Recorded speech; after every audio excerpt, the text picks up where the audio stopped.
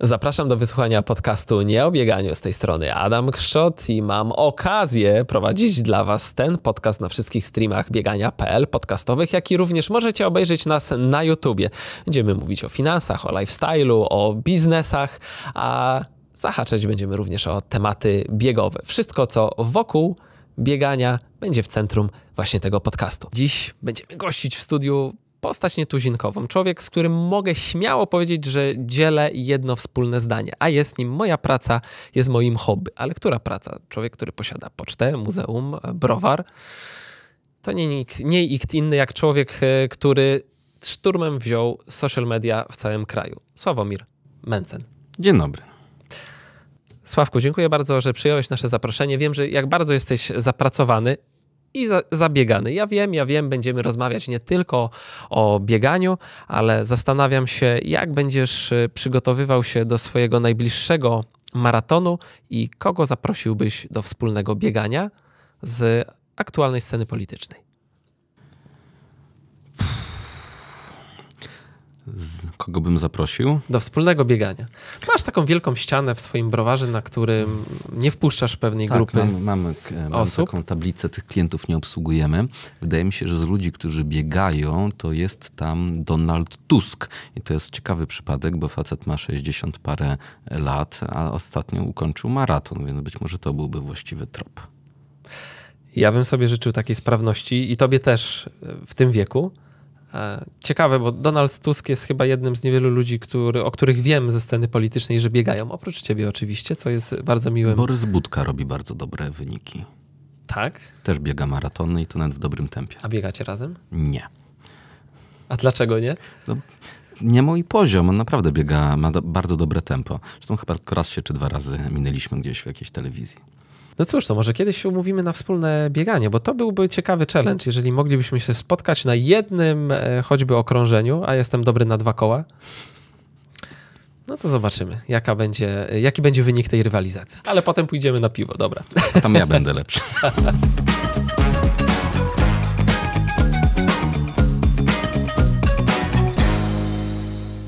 Sławku, powiedz, jak w ogóle zaczęła się Twoja przygoda z bieganiem? Bo ostatnio, gdzie się nie pojawisz? Absolutnie wszystkie kanały YouTube, e, TikTok, e, podcastowe łapią ogromne zasięgi, bo pokazujesz się z tej drugiej strony. To znaczy, nie wiem, czy to jest przygoda z bieganiem. Ja po prostu czasem biegam. E, przedwczoraj zrobiłem 12 kilometrów na przykład e, wieczorem. E, biegam z dwóch powodów. Pierwszy jest taki, że muszę dbać jakkolwiek o swoją wagę i o swoje zdrowie i z tych wszystkich sportów, które w tym momencie jestem w stanie uprawiać, bieganie mi najbardziej pasuje, bo mogę po prostu wyjść z domu i zacząć biegać. Nie potrzebuję do tego żadnej infrastruktury, nie muszę mieć do tego znajomych, żeby pograć w piłkę nożną. Jestem bardzo elastyczny dzięki temu i bardzo za to bieganie e, cenię. A drugi powód jest taki, że wreszcie mam chwilę dla siebie. Jak biegam głównie nocami czy późnymi wieczorami po całym dniu, nie jestem w stanie się przemóc do tego, żeby biegać rano. Jak już wieczorem wszyscy śpią, żona śpi, dzieci śpią, mam pracę już z głowy, to wychodzę i mam godzinę, półtorej godziny tylko i wyłącznie dla siebie. Mogę sobie wszystko e, przemyśleć, mogę sobie coś zaplanować, ułożyć sobie jakieś przemówienie czy jakąś rozmowę, zastanowić się nad jakimś problemem. Wreszcie mam mam głowę wolną. I to jest piękno właśnie tego sportu, że podczas, nie wiem, gry w piłkę czy gry w tenisa stołowego nie da się spokojnie pomyśleć, a podczas biegania można pomyśleć nad wszystkim. Sławek, jesteś mówcą motywacyjnym, przedsiębiorcą, do tego szalenie sprawnym. No, obejść te wszystkie przepisy, grać w tą e, szach, szachow, na tej szachownicy z tak rozstawionymi pionkami, naprawdę trzeba być nie, laga, nie lada specjalistą, ale z tego co mówisz, szukasz spokoju. Może nie tyle szukam spokoju, bo wszystko, co robię, wskazuje, że wręcz e, przeciwnie. Gdybym szukał e, spokoju, to bym się nie pchał do polityki e, czy do biznesu, bo są miejsca, gdzie jest trochę większy spokój niż w biznesie i w polityce. Tam raczej spokoju w ogóle nie ma. Natomiast czasem naprawdę potrzebuję tej chwili wyciszenia. To po bardzo intensywnym dniu jest po prostu niezbędne. No, z jednej strony posiadasz browar i tak zastanawiam się, czy ty wiesz, jaki jest ulubiony napój biegaczy. Dowiedziałem się dokładnie trzy tygodnie temu, kiedy tutaj rozmawialiśmy właśnie o zaproszeniu do twojego podcastu i wtedy dowiedziałem się, że jest to piwo. Nie powiem, strasznie mnie to ucieszyło, bo bardzo lubię piwo i do tej pory jak po bieganiu piłem piwo, to nawet miałem wyrzuty sumienia, że, że tak się nie powinno, że zaprzepaszczam swoją ciężką pracę tym piwem. Natomiast dowiedziałem się, że biegacze piją piwo po treningu, w związku z czym czuję się rozgrzeszony. Czyli żeby ci na piwo złapać, to musi być 23.30, ewentualnie 24 po bieganiu i wtedy wspólny browarek. Na szczęście nie biegam codziennie, więc można przed bieganiem, że nie będę biegał danego dnia. No chociaż wyszło mi, że nawet jeżeli po południu wypiję z 2-3 piwa, to spokojnie wieczorem jeszcze można ładnych parę kilometrów zrobić. W tej konfiguracji jeszcze nie próbowałem, ale to, teraz po karierze tak, to jest, to jest bardzo y, dobry punkt wyjścia. W swoim browarze masz y, zdjęcia klientów, których nie obsługujesz, ale zastanawiam pubie, się, tak. z którym w swoim pubie, ale z którym byś pobiegał. Tam, zdaje się, wisi Donald Tusk, który ostatnio, mimo chyba już 60 paru lat na karku zrobił maraton, co nie powiem, imponuje mi. Chciałbym w wieku wieku mieć taką sprawność. O, to i tego sobie też życzę. A maraton, wiesz ile ma kilometrów? 42. Dobra odpowiedź. 195 metrów. E, no to tak, żeby nie było zbyt łatwo, to jeszcze te metry dodali. Ale swoją drogą, jaki dystans w ogóle pokonałeś najdłuższy biegając? Bo ja nie ukrywam, widzę ciebie tutaj teraz przed sobą na żywo. Telewizja trochę kłamie. Mi się wydaje, że troszkę bardziej okrągły w telewizji i przez ekran e, każdego monitora. Natomiast z tego, co ja do, się dowiedziałem, dotarłem do możliwie najlepszych informacji, biegasz po 5 minut na kilometr. A to jest tempo, którego życzy sobie większość amatorów, żeby w ogóle tak biegać. Nie wiem skąd te informacje. Miałem takie tempo, rzeczywiście. E, natomiast to było chyba rok czy półtora roku temu, kiedy byłem w lepszej formie. Potem się zapuściłem. Teraz przy okazji startującej kampanii wyborczej wracam dopiero e, do formy, więc jeszcze wszystko przede mną. Mam nadzieję, że wrócę do tych rezultatów, które miałem e, kiedyś. Teraz jestem absolutnie bez formy i biegam nawet 6, 6 minut z kawałkiem, nie?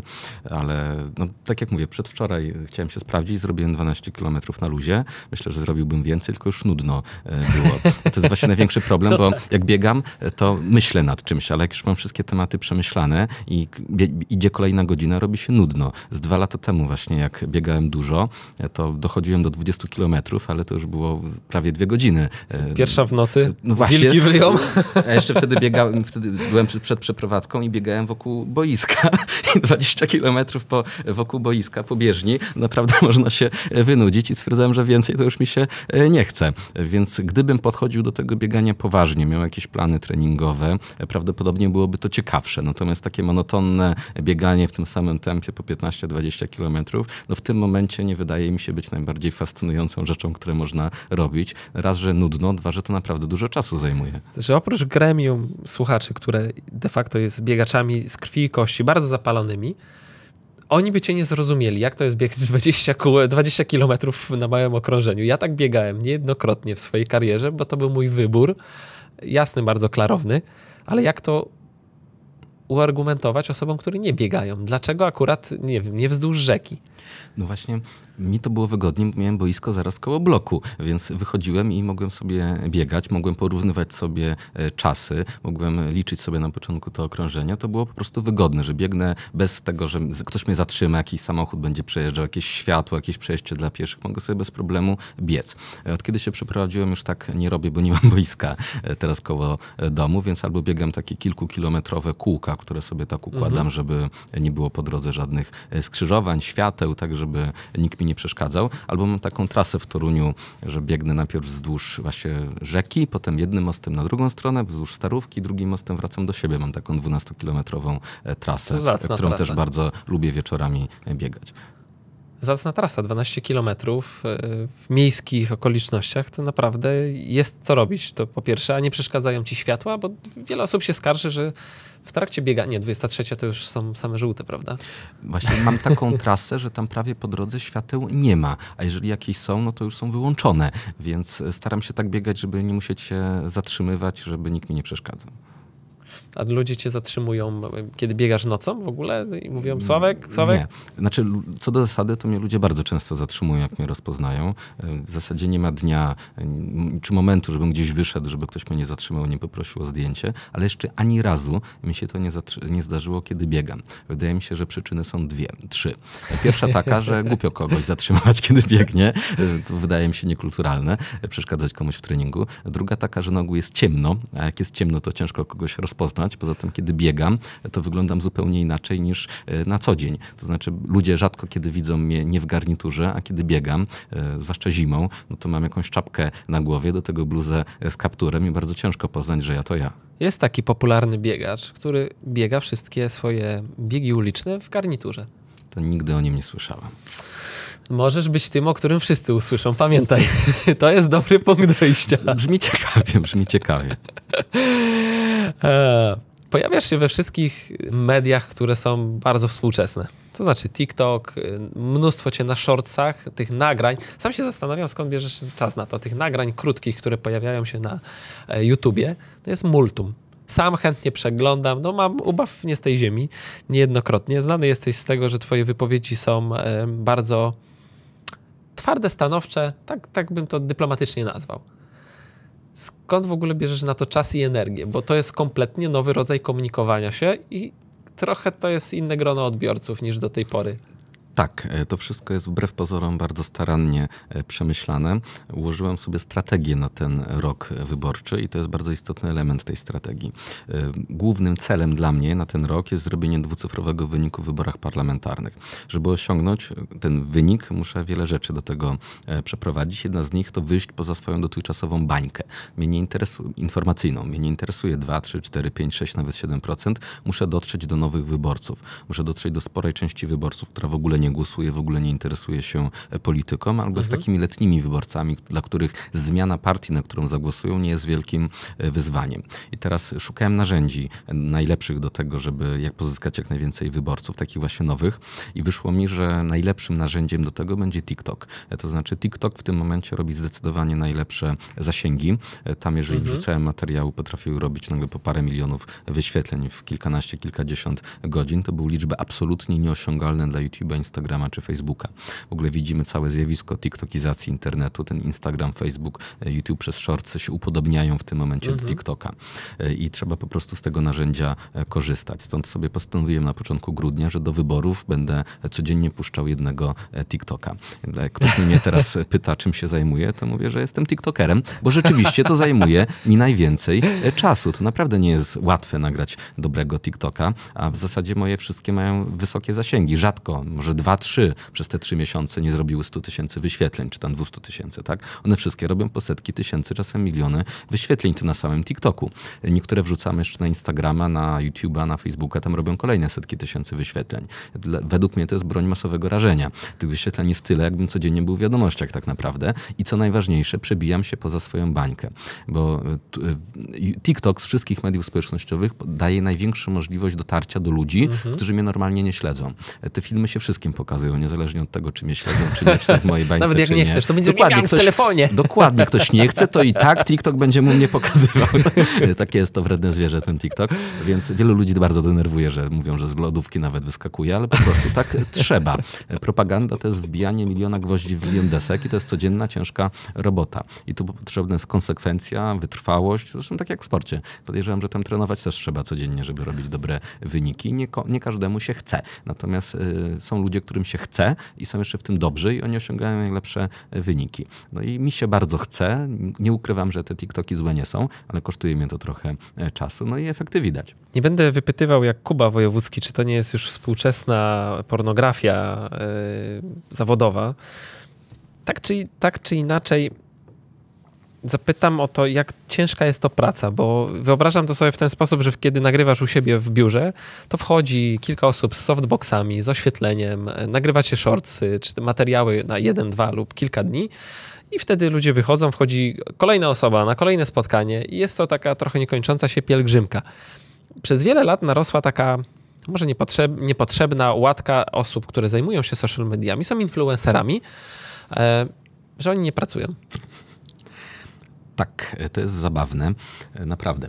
Kilka razy widziałem, jak jakaś influencerka wrzuciła relację czy, czy post na Instagrama z komentarzem, że ale się dzisiaj napracowałam, nagrałam, zrobiłam trzy zdjęcia, wrzuciłam cztery relacje i ludzie ją hejtowali, nie rozumiejąc, że to jest naprawdę ciężka e, praca, żeby zrobić dobre zdjęcie czy nagrać dobrą relację. Dobry TikTok, raz, że musi być przygotowany od strony merytorycznej, trzeba go zrobić dobrze od strony technicznej, zgrać na oświetlenie, dźwięk, trzeba zastanowić się, co dokładnie chcemy powiedzieć, do jakiej grupy docelowej chcemy trafić, jakiego języka e, użyć, bo to nie jest tak, że się siada i się po prostu mówi, tak żeby ludzie to słyszeli. To jest ciężka praca nad każdym e, TikTokiem. Nagranie czasem niektórych TikToków to mi zajmuje godzinę albo dwie. E, pomijając już to, że mamy czasem kilka czy kilkanaście podejść do jednego nagrania, bo one nie wszystkie są. Wystarczy, że raz się przejęzyczę, to nagrywam od początku, bo TikTok no tak. musi być nagrany dobrze. Tam każda sekunda jest bardzo ważna, więc każde przejęzyczenie, każdy zły zwrot czy cokolwiek, to od razu nagrywam od początku. I teraz jak TikTok trwa kilkanaście sekund, to da, da się to e, szybko powtórzyć, ale najgorsze są te, że coś długiego piszę na tablicy, jakieś wzory wyprowadzam, czy coś pokazuję, wtedy muszę zetrzeć całą tablicę i pisać od początku no tak. na żywo. I to, to, to już niestety trochę czasu zajmuje. Do tego dużo czasu zajmuje, czyli, czyli oprócz użycia właściwego języka, bo to naprawdę nad każdym słowem potrafimy debatować, czy to słowo jest dobre, czy nie. Czasem robimy małe badania fokusowe, jak, bo to nagrywam u siebie w biurze w firmie, tak? I mamy na przykład, chcę opisać mm, na przykład politykę monetarną, tak, inflację Glapińskiego. To idę do jednego pomieszczenia i pytam się pracowników, y, czy wiecie, kto to jest Glapiński, z czym wam się kojarzy? Robię takie szybkie fokusy, żeby wiedzieć, czy taki przeciętny użytkownik TikToka zareaguje na moje słowa, bo tam mamy te pierwsze dwie sekundy na przykucie uwagi kogoś, kto tylko skroluje, potem kolejne 10 sekund na zatrzymanie, więc musimy wiedzieć, co w ciągu dwóch pierwszych sekund zrobić, żeby przykuć tą uwagę, co w kolejnych 10, żeby ją zatrzymać, jakich słów użyć, żeby one się komuś z czymś kojarzyły, żeby budziły jakieś emocje, żeby odwoływało się do jakichś memów, kodów kulturowych. To naprawdę nie jest proste nagrać dobrego TikToka. A długo to analizowałeś? Bo to wygląda jak z góry dobrze przemyślany, zaplanowany akt, to wszystko się zgadza. Natomiast czy to jest twoja inwencja, czy po prostu wiem, zatrudniłeś kogoś, kto cię tego nauczył? Bo to dzisiaj połowa dzieciaków się nad tym zastanawia, chcą być tiktokerami. Nie polecam bycia TikTokerem, to znaczy jak ktoś chce budować swoją markę osobistą, chce docierać do ludzi, nie wiem, reklamować swoją firmę, tak, to jest świetny kierunek. Natomiast jeżeli ktoś chce być TikTokerem dla bycia TikTokerem, bo chce być sławny, e, to to jest bardzo zły pomysł na karierę e, zawodową, bo w większości się to absolutnie nie uda. E, to lepiej się nauczyć czegoś przydatnego, a potem ewentualnie promować to za pomocą TikToka. Ja nie miałem żadnego, nie wiem, nauczyciela, coacha, trenera, który uczył mnie TikToka, po prostu mamy swój sprawdzony zespół ludzi w firmie, e, którymi też ogarnia tam Facebooka, Instagrama, różne inne rzeczy. Mhm. E, I, I to w ramach tego wewnętrznego zespołu robimy. Też się cały czas uczymy, jak to powinno e, działać. Analizujemy, co się zmienia w poszczególnych algorytmach, jakie treści gdzie się przyjmują, ale robimy to wszystko wewnątrz. Nie mamy żadnego zewnętrznego, merytorycznego wsparcia. TikTok, YouTube, zawsze mi, YouTube w postaci shortsów zawsze mi się kojarzył z odbiorcami w wieku lat 15, 25, raczej z tą grupą docelową. A do kogo ty trafiasz?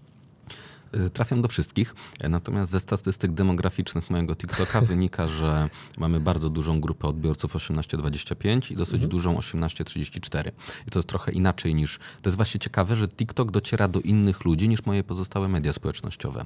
Zarówno na Instagramie, jak i na Facebooku 80% odbiorców to są mężczyźni, 20% to kobiety. Najwięcej między tam 30-35 rokiem życia. Czyli to są ludzie troszeczkę ode mnie młodsi, y, już dużo po studiach, ludzie dorośli. Na TikToku te statystyki wyglądają troszeczkę inaczej. Mam tak z 60-50% mężczyzn. Wiele filmów to jest pół na pół. To jest jedyne medium społecznościowe, którym docieram również do kobiet. Na Facebooku czy na Twitterze mi się to po prostu nie udaje, a na TikToku tak. Nawet u mnie właśnie na Instagramie są głównie mężczyźni.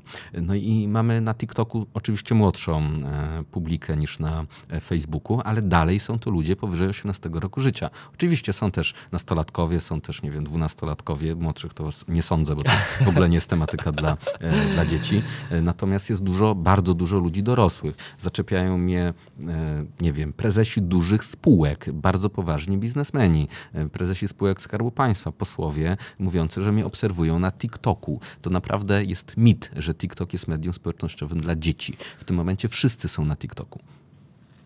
Podobno wszyscy. Czeka cię maraton wyborczy. Mówiłeś o tym, że celujesz w dwucyfrówkę. Co, co musiałbyś zrobić, żeby mieć tylu posłów, ile kilometrów w maratonie?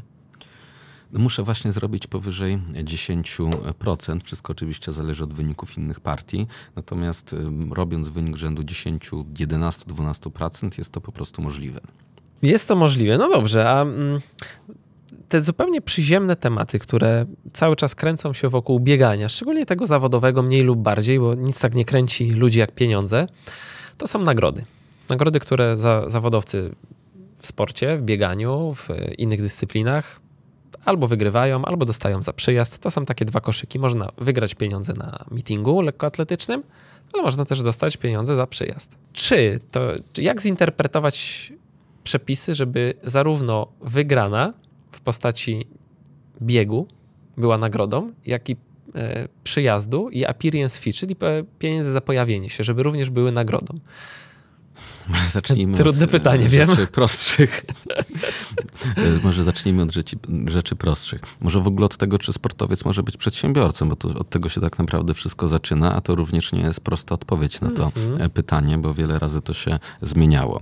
Jeżeli spojrzymy na definicję działalności gospodarczej, to jest to działalność wykonywana w sposób e, zarobkowy, w sposób zorganizowany i ciągły. I teraz pytanie, czy sportowiec jest przedsiębiorcą, czy nie jest przedsiębiorcą. Wiele osób się nad tym zastanawia, wielu przedsiębiorców sportowców boi się w ogóle rejestrować działalności gospodarczej, bo wie, że lata temu były z tym e, problemy, chociażby na e, żużlowców. E, to trafiło czy na siatkarzy, którym odmówiono od liczenia VAT-u, czy kazali im płacić skalę podatkową zamiast podatku liniowego, więc nie jest to rzecz oczywista. I, i jak się spojrzy w przepisy, to w ogóle z nich nie wynika, że sportowiec może być przedsiębiorcą, prawdę mówiąc, natomiast nie może nim być tak samo jak prawnik, inżynier, programista, czy każdy przedstawiciel innego zawodu, który to robi na B2B.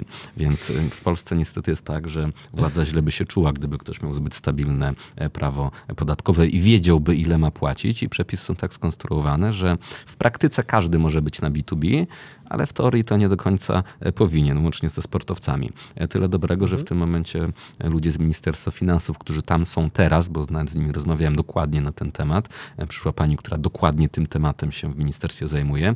Jej optyka jest taka, że sportowcy mogą iść na B2B i rozliczać się na ryczałcie albo na podatku liniowym, ale co będzie, jak się władza zmieni, albo jak ta pani pójdzie gdzie indziej, ktoś inny ją zastąpi, to oczywiście nie wiemy. Przepisy wypadałoby doprecyzować, tak żeby sportowcy rzeczywiście mogli być przedsiębiorcami, bo wtedy te wszystkie rozliczenia są po prostu dużo prostsze. Płacimy ryczałt albo podatek liniowy i nas te wszystkie inne rzeczy nie interesują. One są skomplikowane wtedy, kiedy nie jesteśmy przedsiębiorcą, bo wtedy rzeczywiście jest pytanie, czy to jest nagroda w konkursie, czy nie. Jeżeli tak, to płacimy ten 10%. Jeżeli jesteśmy na terytorium Unii Europejskiej, a poza nią to znowu są inne przychody, czyli skala podatkowa, czyli 12, a potem 32%. Potem pytanie, jaką mamy umowę o unikaniu podwójnego opodatkowania z danym państwem, czy to jest zaliczenie proporcjonalne, czy wyłączenie z progresją, bo to też decyduje o tym, w jaką, jaki podatek potem musimy ewentualnie w Polsce dopłacić. I to jest ta często boląca rzecz, jeżeli no niestety musimy dopłacić e, bez względu na uzyskane przychody. Mm, zawodowcy z reguły zakładają, jest coraz częstsza praktyka, zakładania własnej działalności gospodarczej, kryją się niejako, a w zasadzie mają taką potrzebę rozliczania się przez agencję wizerunkową, reklamową. Zresztą też tak robiłem i to jest praktyka zgodna z tym, co robimy, bo często świadczymy swoim wizerunkiem niejako usługi.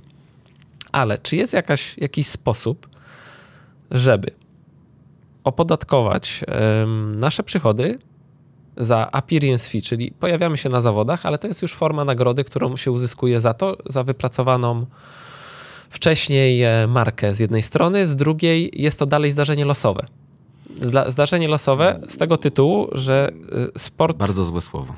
Zdarzenie losowe to złe słowo? Tak, bo jeżeli to zdarzenie losowe, to już mamy hazard, a nie sport i to w ogóle jest, wtedy robi się e, problem, zwłaszcza podatkowy. Nie tylko podatkowy. Nie tylko podatkowy. Więc y, żadne zdarzenie losowe, to, to nie mów takich rzeczy. Przynajmniej nie w urzędzie podatkowym.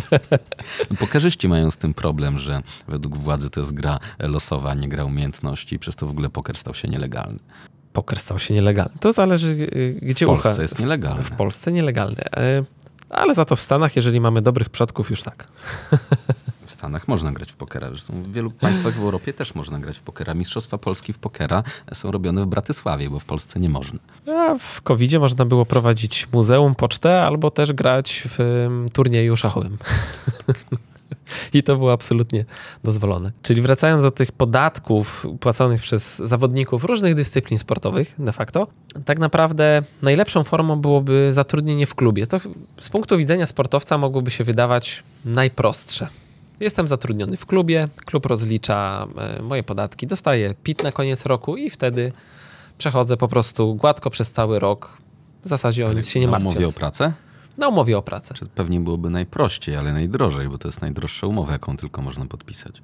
To nie wiem, ktoś musiałby strasznie cenić sobie komfort życia i spokój, żeby chcieć mieć większe dochody na umowie o pracę. Przy mniejszych to ok, ale przy większych to nigdy bym nie szedł w tym kierunku.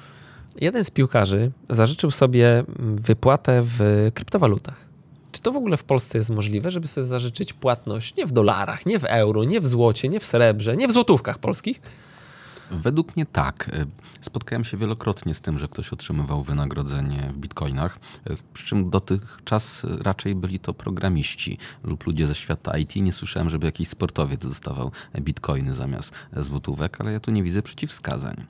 A jaka to wtedy forma opodatkowania? Dostaje kryptowaluty, które dopóki nie są przeniesione bodajże na fiaty, są w zasadzie czym? Aż tak dobrze to nie ma.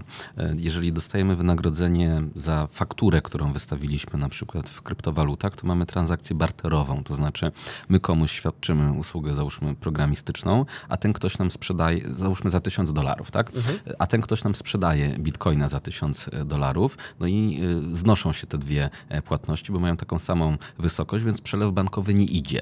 Tylko ktoś dostał usługę, a ja dostałem bitcoina i teraz kupiłem tego bitcoina za tysiąc, załóżmy, że jednego za tysiąc dolarów.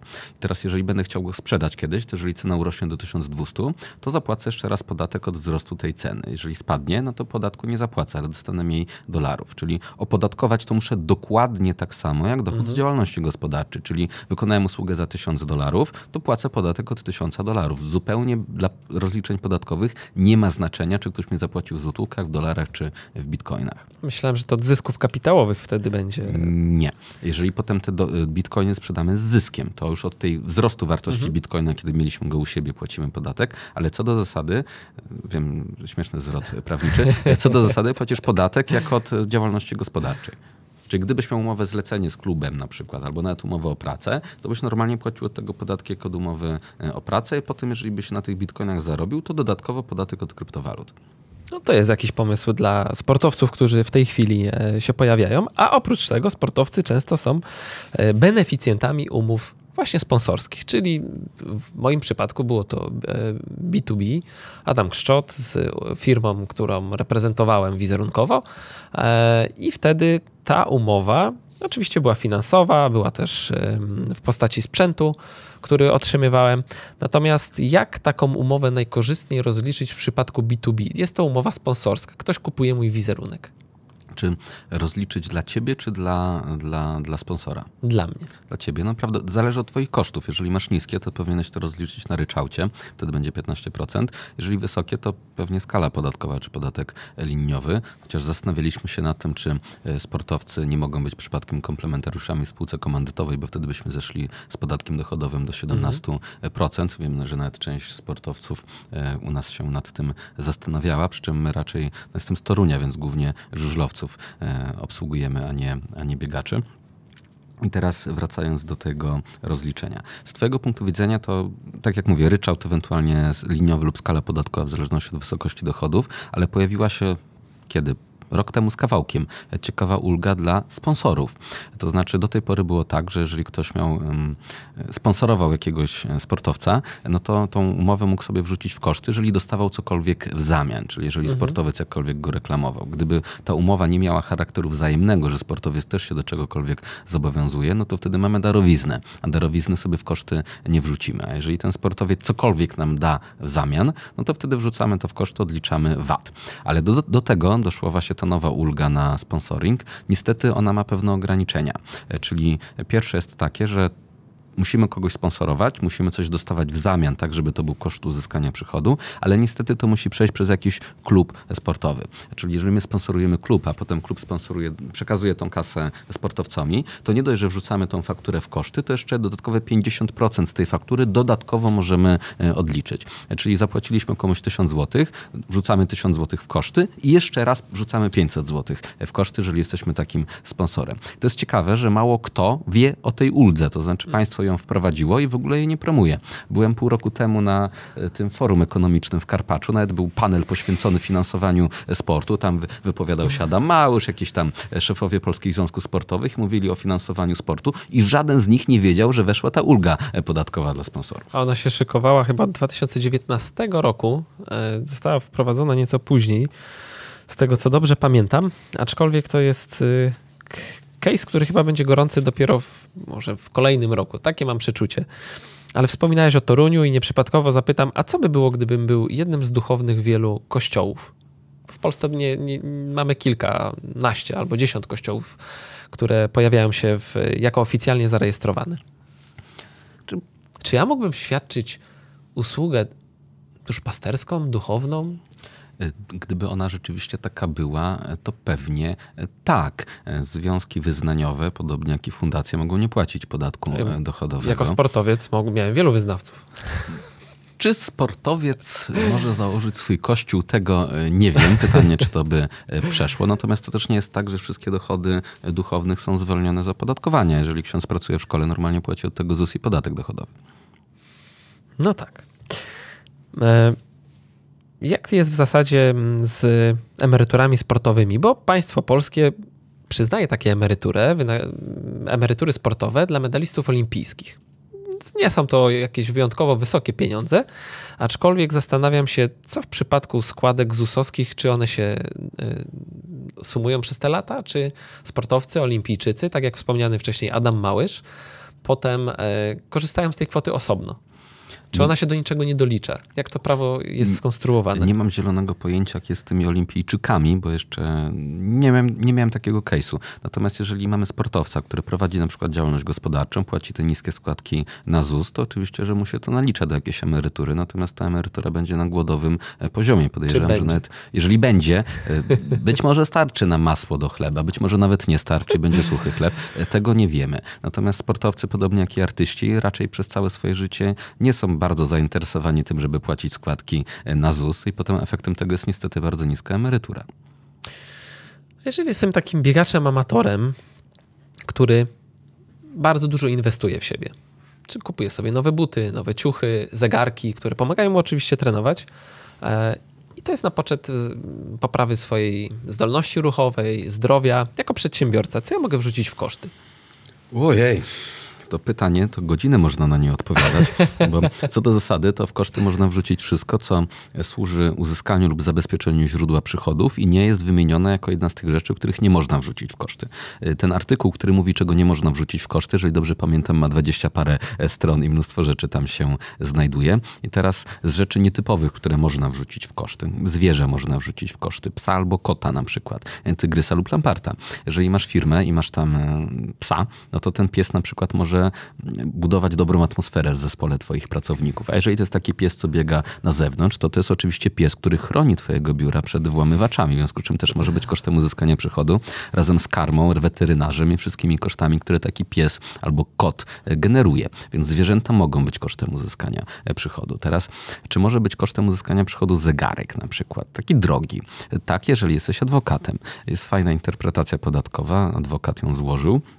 Mówi, że on ma klientów, których obsługuje na czas, to znaczy konsultacja trwa godzinę, a nie minutę dłużej, więc musi wiedzieć, kiedy wyprosić danego klienta i to będzie sobie na swoim Rolexie e, oceniał. No i interpretacja przyszła pozytywna, że tak można drugi, drogi zegarek wrzucić będąc adwokatem, ale okularów nie można.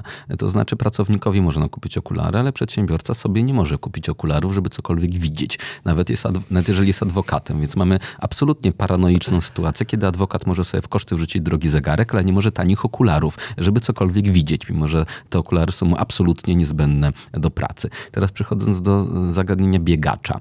Pytanie, co robi ten biegacz w ramach swojej działalności gospodarczej, tak żebyśmy te buty w razie czego mogli zakwalifikować. I podejrzewam, że ciężko będzie wymyśleć coś, co by pasowało. On musiał być naprawdę sportowcem, bo załóżmy, że mhm. jest biegaczem amatorem i będzie próbował wytłumaczyć, że on na tych butach to biega do pracy, na przykład, żeby być szybciej. To to nie przejdzie. Skarbówka uzna, że to jest wydatek o charakterze osobistym, ponieważ równie dobrze w tych butach może biegać i po pracy. Ale jeżeli ten sam biegacz kupi sobie rower, nawet bardzo drogi, i powie, że na tym rowerze jeździ do pracy, to to już będzie koszt uzyskania przychodu. W związku z czym, e, nie wiem, no, kolarze mają lepiej od biegaczy. A jakby w tych butach chodził do pracy, ale skarbówka powie, że w tych butach może również chodzić poza pracą, ale do roweru tak nie powie. To jest absurdalne i paranoiczne. Weźmy aktora. Jeżeli aktor kupi sobie jakiś strój z epoki, nie, z XVI czy z XIX wieku, bo musi grać na scenie w tym stroju, to to będzie koszt uzyskania przychodu. Jeżeli kupi sobie garnitur, żeby zagrać jakiegoś gangstera z drugiej połowy XX wieku, no to już niestety nie będzie kosztu uzyskania przychodu, bo skarbówka uzna, że w tym garniturze to może chodzić po ulicy albo do pracy, albo gdziekolwiek indziej. E, no a w stroju z epoki to nie bardzo. Więc tu nie ma wielkiej logiki.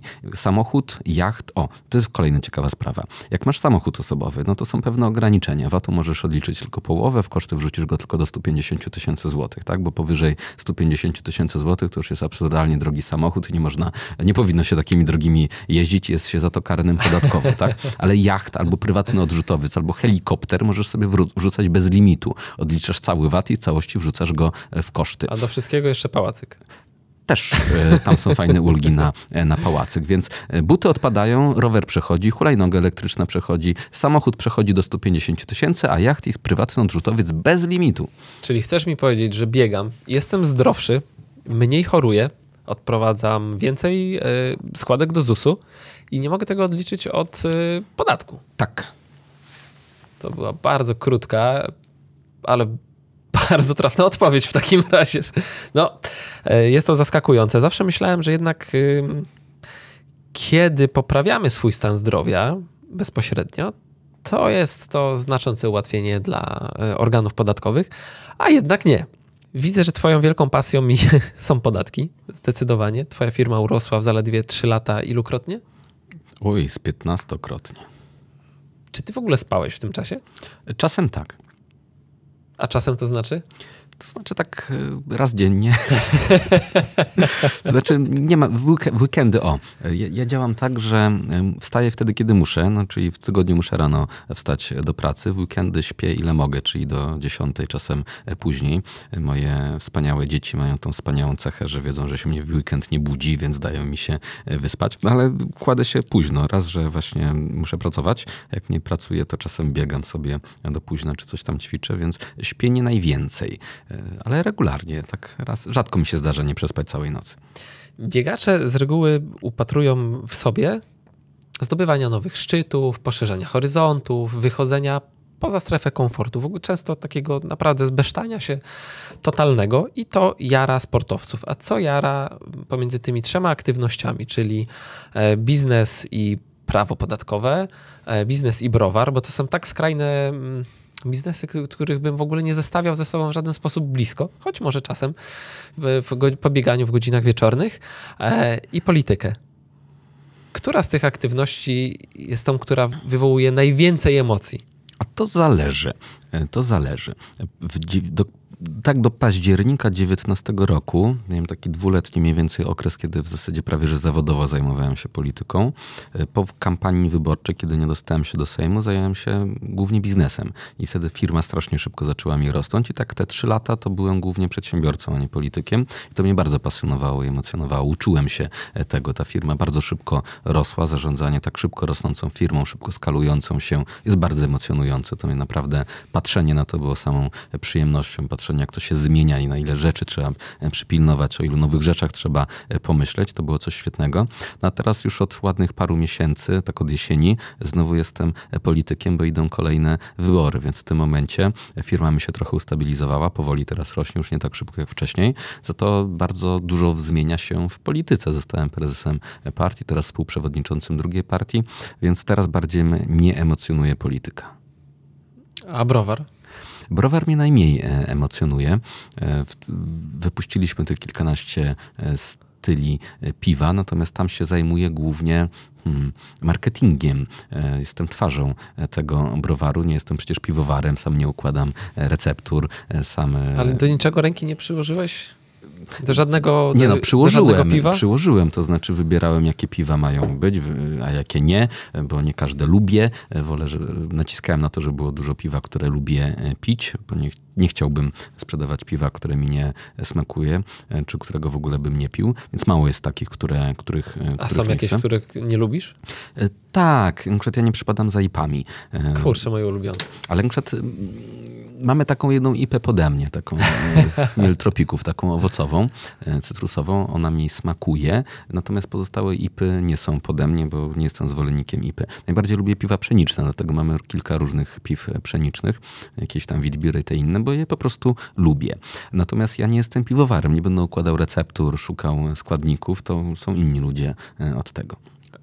A jakbym ci zaproponował połączenie tych wszystkich aktywności? Przecież to robię cały czas. Ale takie sportowe połączenie. To znaczy? A co byś powiedział na piwną milę? Jeszcze nigdy nie próbowałem. To w skrócie opowiem. Piwna mila polega na tym, że biegamy dokładnie dystans mili na stadionie. Zresztą doświadczenie na stadionie masz 20 km wykręcone. Tylko, że co okrążenie pijemy bardzo małe piwo. One są niskoalkoholowe. Poniekąd jest ciężko utrzymać gazowany napój i biec ale y, jest nieoficjalnie również notowany rekord świata w tej dyscyplinie. Zobacz, jesteś przedsiębiorcą, możesz sobie to odpisać od podatku. Taką imprezę sportową w postaci sponsoringu. Masz browar, zatem już y, pewien sad jest. Jesteś również politykiem, więc nie powinno być tutaj y, trudności ze zorganizowaniem, choćby w Toruniu, e, takiego eventu. Jest zasięgowy. Lubisz TikToka, e, Instagrama, wszystkie social media w postaci YouTube'a. Zobacz, wszystkie aktywności możemy połączyć w jednej tak to brzmi, natomiast... To tylko tak brzmi. To tylko pozory. Nie wiem, czy by to wyszło. Na pewno uczestnicy tego to raczej byliby biegacze niż piwosze, a mi jednak... Nie ograniczajmy się. Wiem, ale przyszedłby jakiś taki zawodowy biegacz i by wszystkim, z wszystkimi tam wygrał, tymi znawcami piwa. To zróbmy kategorie. Podzielmy to sobie na kategorie i wiesz, tutaj naprawdę można wiele dobrego zrobić. Nie uczestniczyłem nigdy w czymś takim. Kilka razy uczestniczyłem w sztafecie piwnej, ale tam nie ma biegania, więc jest dużo prościej. A gdyby to była sztafeta na milę piwną? Widzisz, ja kolejny punkt. Ja uczestniczę w takich sztafetach piwnych bez, bez biegania. biegania. To znaczy, na stoją cztery osoby w jednej drużynie i pierwsza wypija piwo. Jak ona wypije tak duszkiem, to dopiero druga może wtedy zacząć pić piwo. Która drużyna pierwsza wypije, ta wygrywa. Więc jak nie ma elementu biegania, to jest dużo prościej znaleźć chętnych. Jest trochę jak na boisku, że wybierasz sobie kolegów do drużyny, to kogo zawsze jako pierwszego typujesz? A najchętniej to mojego brata, bo bardzo szybko pije piwo. Okej. Okay. Dobrze.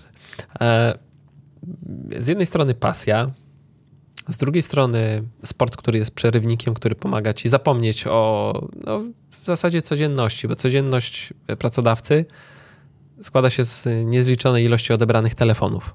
Nie w moim przypadku, A. ja w ogóle nie odbieram telefonów. A, i to wiele tłumaczy. to dlatego jak cię zaprosiliśmy cię jako pierwszego do podcastu w naszym nowym formacie, to czekaliśmy tak długo i byłeś u wszystkich innych. To jest od razu, zawsze to mówię, bo dostaję dużo telefonów, których nie odbieram. Nie odbieram żadnych telefonów z obcych numerów. Nawet jak ktoś ma mój numer, to nie ma szans się do mnie dodzwonić. Najszybsza metoda kontaktu ze mną to przez moją asystentkę. Numer jest na stronie internetowej i wtedy da się ze mną skontaktować. Jak ktoś na siłę będzie próbował się dodzwonić, to za Chiny się nie dodzwoni. Mój telefon już na tyle jest mądry, mądry, że sam zauważył, że nie odbieram telefonów, więc nawet mi nie wyświetla powiadomień, że ktoś do mnie dzwoni, więc dzwonienie do mnie jest absolutnie bez sensu. A urząd podatkowy też tak ma? Nikt się nie dodzwoni. No, nie ma mnie, nie odbieram. Nawet prezydent Zarobiony się nie dodzwoni. No, nie ma takich szans w ogóle. No tak, to słodkie. Moja praca jest moim hobby. Skoro mówimy o hobby, to czy prywatnie jest jakieś inne hobby? Nie mam czasu na hobby. Kiedyś interesowałem się bardzo piłką nożną, natomiast świadomie w sobie to hobby zamordowałem. W tym momencie mam to, ten, to szczęście, że to, co robię, jest moim hobby. Podatki to hobby, biznes to hobby, polityka to hobby. To jest coś, co mnie kręci, coś, coś co mnie interesuje, więc robię to, co lubię. Robię to, co mnie interesuje. Nie muszę oddzielać czasu wolnego od pracy, bo ja lubię to, co robię. Tak? To mnie często relaksuje. E, jest to bardzo komfortowa sytuacja. Ja mam taki problem, że pomiędzy pracą zawodową, prowadzeniem działalności gospodarczej, prowadzeniem komentarza sportowego, rozmowami podcastowymi, wszystkie te rzeczy uwielbiam. Tylko czasem zapominam, jak z tego całego tortu odpowiednio duży kawałek wykroić dla rodziny. Jak, jak ty ten czas, który dzisiaj no poniekąd musisz oddać dla swoich działalności e, zawodowych, dla swojego hobby, bo każdy z tych jest twoim hobby, masz jeszcze czas dla rodziny. E, to jest problem. E, jak są takie miesiące, że dużo pracuję, na przykład styczeń miałem bardzo zapracowany, wyliczyłem sobie tam chyba 320 godzin, to jest dużo. W lutym już mniej pracowałem, zresztą też luty jest krótszy niż styczeń, wyszło mi chyba 260, więc było trochę łatwiej, więc tak, nie mam bardzo dużo czasu niestety dla rodziny staram się tak planować dzień, przynajmniej jak jestem w Toruniu, że kończę pracę w biurze tak 16-16 z hakiem i jadę do domu. I kolejne aktywności sobie planuję dopiero wieczorem. Czyli mam mhm. to jakieś 2-3 godziny w domu. Y, też w weekendy często niestety mnie nie ma, bo są różne konferencje, wyjazdy, media i tak dalej, więc y, nie ma tego czasu dużo. No ale tak w wielu zawodach tak jest, że w domu się zbyt często nie jest. Lekarze tak na przykład mają, podejrzewam, że sportowcy również. Sportowcy 24 godziny na dobę. Właśnie, jak, te, jak hmm, to jest ciekawy case. Skoro tyle godzin sobie wyliczyłeś, to jako zawodowy sportowiec, ile powinienem sobie godzin pracy naliczyć? A to zależy, jak wygląda Twoja e, praca. Nie jestem sportowcem, więc nie wiem. Moja praca wyglądała tak, że każda czynność mojego życia musiała być podporządkowana tylko i wyłącznie dla sportu. Od spotkań z rodziną, przez sam akt treningu. Wydaje się to dziwne, ale godzinę leżenie po treningu z bidonem w ręce to jest ciągle mhm. trening. Godzinę leżenie przed treningiem to też jest dalej trening. Okej, okay, ja bym to liczył jako pracę. Jak ja to liczę? Jeżeli jestem, e, wchodzę do biura, to zaczynam pracować. Tak jak wychodzę z biura, to przestaję e, pracować. Jeżeli siedzę przed komputerem w domu i coś piszę, liczę, myślę e, przed komputerem, to jest to praca. Ale jeżeli leżę na kanapie i czytam książkę o tym, jak prowadzić firmę, to już to nie jest dla mnie praca, tylko to jest odpoczynek. Jak jadę samochodem do innego miasta, np. do Warszawy, mhm. to jestem w tym czasie w pracy, mimo że jadę po prostu samochodem. I teraz, gdybym, załóżmy, że jestem sportowcem, muszę iść na trening, trening, no to pracuję. Jeżeli przed treningiem muszę wykonać jakieś czynności, typu leżenie. Przygotowawcze. No to oczywiście, że jest to praca. czy to jest 24 godziny na dobę, to nie wiem. Jeżeli na przykład jestem, o, dzisiaj jestem w Warszawie, tak? Mhm. Więc wyszedłem z domu o dzisiaj to późno, o siódmej e, i cały czas jestem w tym momencie w pracy. Jak z tobą rozmawiam, też jestem w pracy. Natomiast jak wrócę do e, hotelu, no to w tym momencie przestanę już pracować, będę miał już czas wolny, mimo że nie jestem w domu. Tylko zastanawiam się, gdzie leży ta granica, bo większość moich czynności, które wydają się zupełnie prozaiczne dla ludzi, y, codzienne, normalne, wychodzenie na spacer z rodziną, nielimitowana ilość kilometrów przechodzona y, wieczorem w pubie u ciebie, to były czynności, które dla mnie, dla zawodowego, zawodowego sportowca, były często wykluczone w wielu okresach. Po prostu nie mogłem tego zrobić, bo ja się przygotowywałem do zawodów, do treningu, który jest następnego dnia i byłem ciągle w czynności, która mnie przygotowywała do treningu lub do zawodów. Czy to liczyć jako czas A pracy? co to jest za czynność? Czynność regeneracji, czyli zbierania, na przykład można to zmierzyć w bardzo prosty sposób, mierząc CK, kinazę kreatynową. E, twoim celem jest, żeby ona spadła jak najniżej. A wiesz, kiedy spada? Kiedy fizycznie nic nie wykonujesz, kiedy nic nie robisz. Czyli nie możesz pójść na spacer z rodziną długi, mm -hmm. nie ma szans. Nie pójdziesz do pubu, nie ma szans. Nie spotkasz się ze znajomymi, te wszystkie czynności są wyłączone. Jakby w tym czasie jesteś w akcie regeneracji. Ciekawa sprawa. Nie potrafię tak na szybko odpowiedzieć na to pytanie. Musiałbym się zastanowić. Rzucę ci, że politycy też trochę tak mają. Wiesz, jak ja wychodzę też się na... regenerują. Nie chodzi o to, że się regenerują. Przed jak wychodzę na e, spacer, e, to nie mogę wyglądać tak e, w sposób, mm, który był ludzi zdziwił, bo ciągle ktoś podchodzi i sobie robi ze mną zdjęcie, więc nawet jak jestem na spacerze z rodziną, to dalej jestem e, w pracy. E, I trochę tutaj widzę pewną analogię, że cały czas mógłbym ciągnąć tą analogię, że też cały czas jestem w pracy, bo gdzieś się nie pojawię poza swoim domem, to coś sobą muszę reprezentować. Tak. Czyli influencer wychodzący po prostu na cały dzień swojej pracy, czynności, Zasadniczo mógłby zaliczyć to na poczet pracy. A do czego to uprawnia osobę prowadzącą działalność gospodarczą? Czy to w Twoim przypadku, kiedy jesteś y, politykiem, pracodawcą, czy w przypadku influencera? Do czego nas to uprawnia podatkowo? Do jakich ulg? Właśnie. Do ulg? Do ulg, odpisów, y, wliczenia czegokolwiek w koszty. Czy jest tu gdzieś jakaś furtka? Bardzo mało, to znaczy te przepisy są mega nieprecyzyjne, a skarbówka bardzo źle reaguje na próbę wrzucenia w koszty czegoś, co jest przydatne zarówno w życiu codziennym, jak i w pracy. Więc sportowcy, którzy nie mają jakiegoś sprzętu, mhm. E, to naprawdę będą mieli bardzo duży problem z rozliczeniem czegoś w kosztach.